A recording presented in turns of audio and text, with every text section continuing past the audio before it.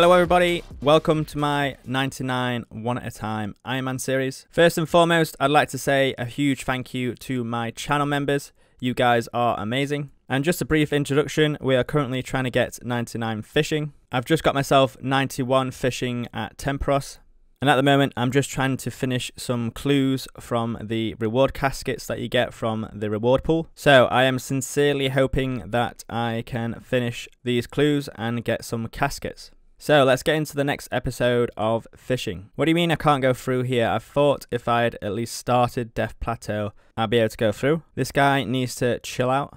Four fucking seconds! It took you four fucking seconds to piss me off again! Okay, because this is a hard clue and I rarely get the chance to do any steps on a hard clue, I'm going to try go the back way to Trollweiss and go from the wilderness. I'm not sure if this works. I'm hoping it does, but we will see. Yeah, it looks like you can't access Trollweiss from this side. It makes sense though, because then the whole quest would be pointless.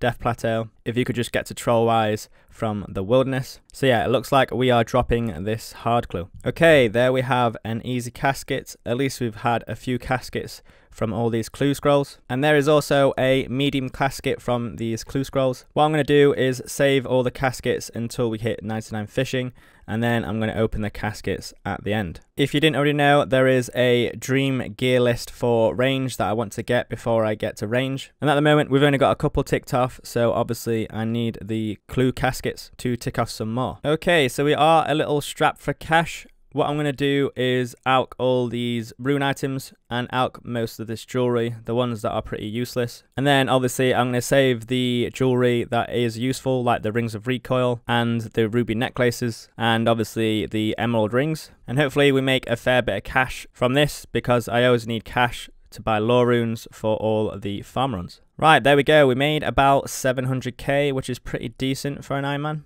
And now what I'm going to do is just enchant all the jewelry that I want to use. Mainly it's teleport jewelry, but I'm also going to enchant some diamond jewelry for when I start doing some quests and start doing combat. Right, here we have our beautiful rings of recoil. The reason why these rings of recoil are so important are because there is a couple of quests that I can do where I can just recoil the boss down and complete the quest. The main quest I want to do is Biohazard because then I can finally finish the easy Ardougne diary and I can get myself that beautiful Ardy cloak. We've only got 10 rings of recoil, which isn't that many, but it's about 400 points of health. So I'm pretty sure I'll be able to kill a few bosses. Right, here we are in the upstairs bit of Biohazard. So for this guy, all I need to do is talk to him and he finds out that I'm an imposter and then I just let him attack me and I should get the key. Round one, fight!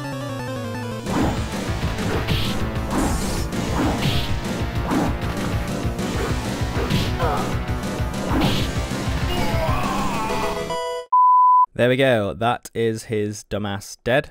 And there we go, there is the key, so we can finally get this last little bit of apparatus to complete the quest. There we go, that is the king told that it's all a sham. And there we have Biohazard finally complete. We get ourselves some Thieving XP, which doesn't really make much difference, because I think I've got about 18 million Thieving XP. But now we can finally enter the combat area and finally finish Ardougne Easy Diary. There we go, there is the beautiful Ardy Cloak obtained. At the moment, it's not really got a very good teleport, I can only teleport to the monastery. But when I'm doing clues, and also when I'm trying to catch implings, a lot of implings spawn around the monastery. It is a very nice teleport. Right, we are here at aerial fishing. As you might be able to tell, we can catch sirens at aerial fishing because we are 91 fishing and obviously 99 hunter. And I've not really done this much in the past, so I'm going to try and work out what the best way is. But yeah, we're looking to get about 400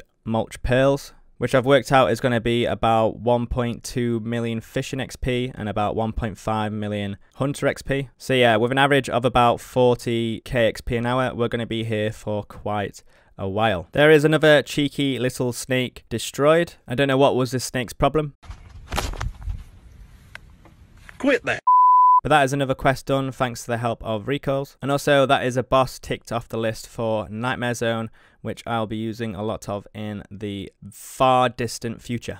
There we go, there is Depths of Despair complete. We get ourselves 1500 Agility XP, very nice. So like a dummy, I alched all my gold rings when I was doing my little alching session at the start of the video. So now the only way for me to get a golden ring, unless I get very lucky and get the pirate event and get a golden ring from that is to get it from the King Black Dragon lair. So shout out to this dude, Deadly Adder, for killing the King Black Dragon and allowing me to pick up the gold ring without any hitches. I was fully expecting me to be killed by at least one of the demons outside or one of the spiders. But no, it went very smoothly and we managed to get that beautiful golden ring. The reason why I needed the golden ring was for a casket, and as you can see, it was all worth it because we managed to get an easy casket from that ordeal. Very nice. Just whilst I'm here, I might as well start the Knight's Sword quest because that is the whole reason why I'm doing fishing, and that is the whole reason why I'm going to get 99 cooking, so I can actually complete this quest. We are back here at Aerial Fishing. We have got ourselves 100 molch pearls. I'm not sure how long I've been here. It's taken me a while. I think in total it's going to take me about 30 hours to get the 400 molch pills. But what I'm hoping for is to get one of the golden tench fish rewards. This reward is just purely cosmetic, but what you can do is trade it in for 100 molch pills, which I will definitely be doing. I want to spend as little time as possible at this hellhole. What the hell? No way!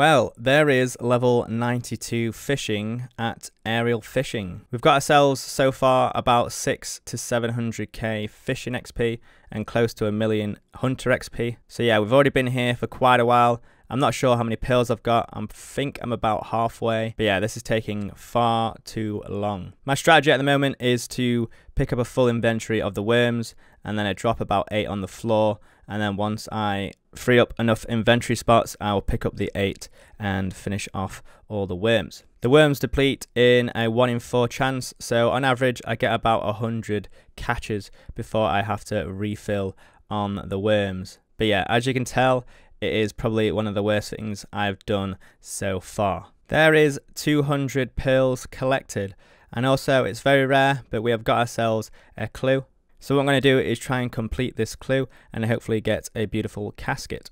There it is guys, the beautiful golden tench. That has come at the perfect time because I think I'm at about 250 molch pills. So when I trade that in, I'll be about 350 molch pills. So it's just 50 more pills to go. I'm going to hold on to the golden tench for a little while though because it looks pretty cool when you're walking around slapping people around the face.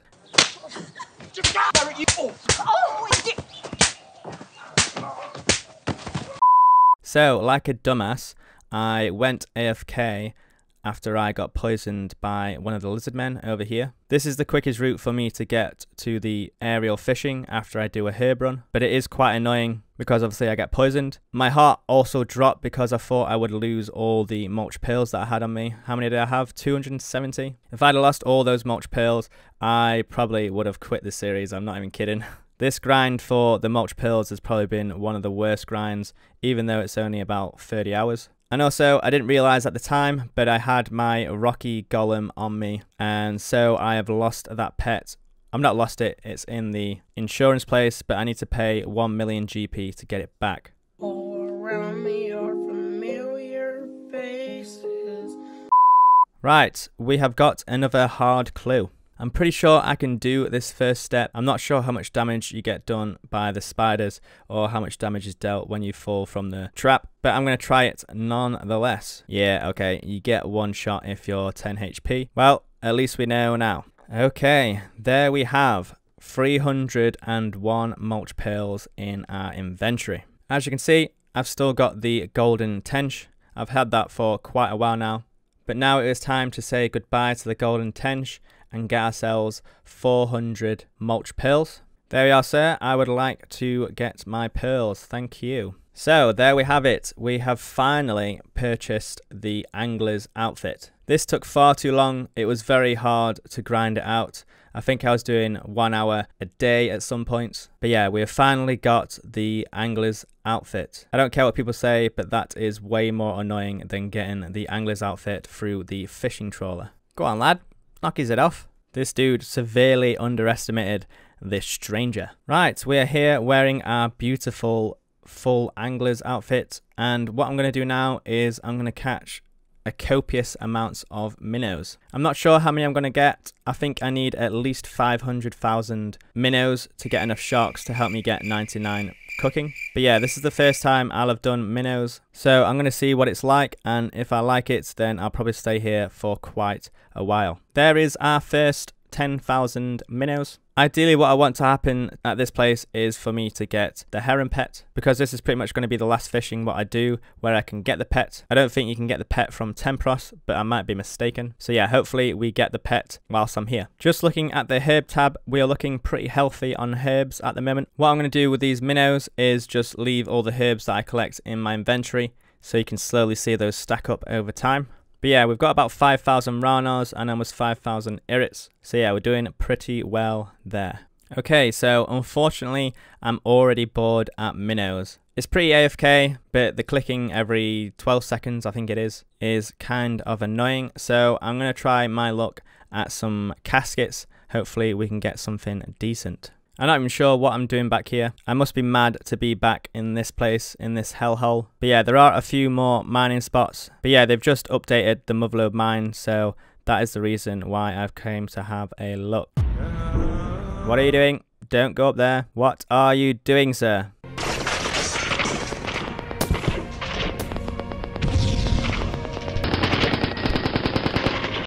There is level 93 fishing at Minnows. As you can see, we're closing in on 100k minnows. I was considering getting a million minnows, but that is far too many minnows, and that is far too many sharks. I won't even cook half of them to get 99. So yeah, I'm going to keep doing these minnows until I get seriously bored, but I need at least 500k, so that is probably what I will aim for. There is the first 100k minnows at minnows, obviously.